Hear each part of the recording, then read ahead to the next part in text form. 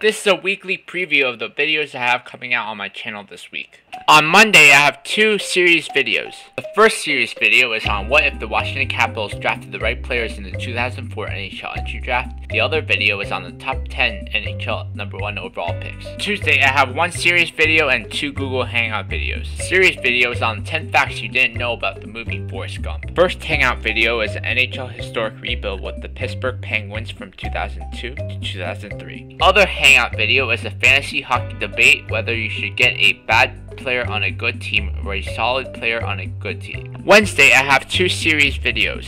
First series video features Iguazu Falls and places to visit. The other video is on who's to blame for high global unemployment. Thursday, I have one series video and two Google Hangout videos. Series video is on the worst moves by Daryl Sutter as Calgary Flames GM. First Hangout video is on rookies to watch for in fantasy football. The other Hangout video is on centers to avoid in fantasy basketball.